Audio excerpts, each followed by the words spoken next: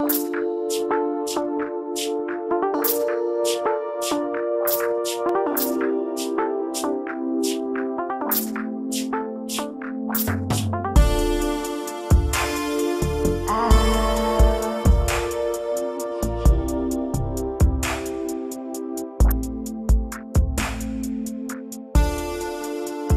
coming clear we live in a divided realm, where each part of the realm contains different densities.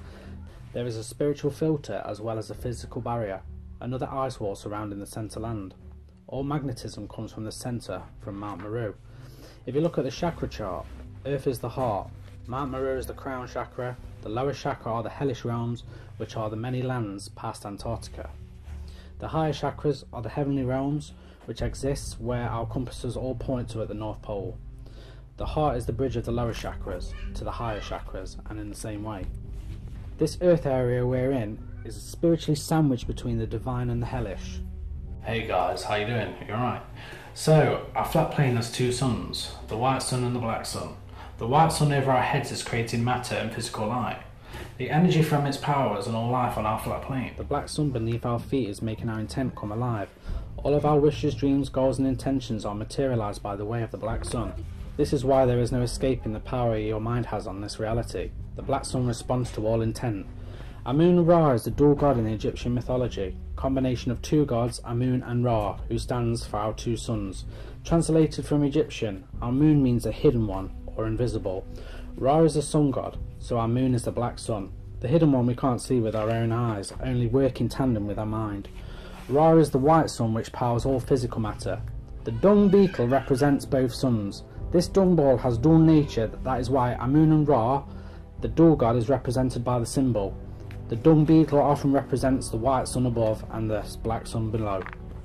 The black sun is usually smaller, only half the size of the white sun, because it's the hidden sun of the Amun, the one which at the moment we can't see with our own eyes. Amun is where we get the phrase Amen.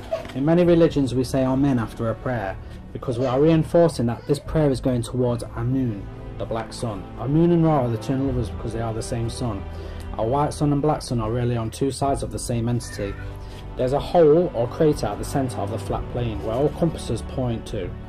Look at this diagram, suppose black hole. We are given a few parts, the singularity, the acceleration disk and the event horizon. The accretion disk is spinning matter around the event horizon. We are told the event horizon is a type of a one-way memory. It's the point of no return. When the object crosses the event horizon, it's sucked into this hole. Look at the word. If you look at the word event horizon, we can break it up to everyone enter our zone. This word is telling us. This word is telling us a black hole isn't something out there, but it's at the centre of our plane where we must enter. And it's why our eye zone? Because our earthly defined mother is feminine.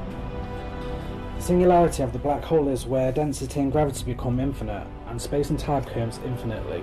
It's where laws of physics cease to operate. So we go into a singularity upon entering the eye zone at the centre of our plane. We transcend our biological limitations, these bodies that are holographic prisms.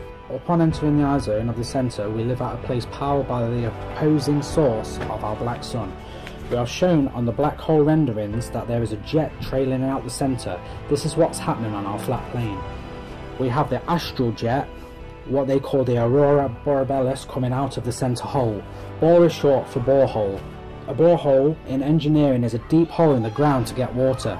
The name aurora borealis is telling us this isn't some light made from electrons colliding with the atmosphere like we are told. This is a light pouring out of the hole. We live on the division side. The line represents flat plane we are currently on. So the two darts are the black sun and the white sun. The Sumerian 8th grade symbol represents the ninth gate. The Dharma wheel symbolises the walk to enlightenment is the gateway to nirvana and there's many many more. They are all covering towards the centre. All compasses have eight points. This is no accident. Mount Meru is the magnetic mountain that lies at the centre of our plane at the Antarctic. The tree of life used to stand at the centre and it was cut down.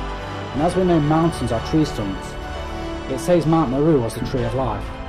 In this Buddhist picture we see a vortex below the mountain. Representing the vortex is where we go when we enter the centre. The Holy Grail, when we drink from it, we achieve everlasting life and abundant happiness. The Holy Grail, as we know, is allegory for the centre of our plane. Look at the Norse Tree of Life. Now look at this piece. Instead of a tree there is a mountain, but the roots are still at the bottom. This tells me Mount Meru was the tree of life. The compasses point to this magnetic mountain. The reason indoctrination is so vital to the elite, like money, sex, greed, are all glamorized to direct you of our intent. And us lot, because of it, haven't yet discovered that solely with our intent does our reality function.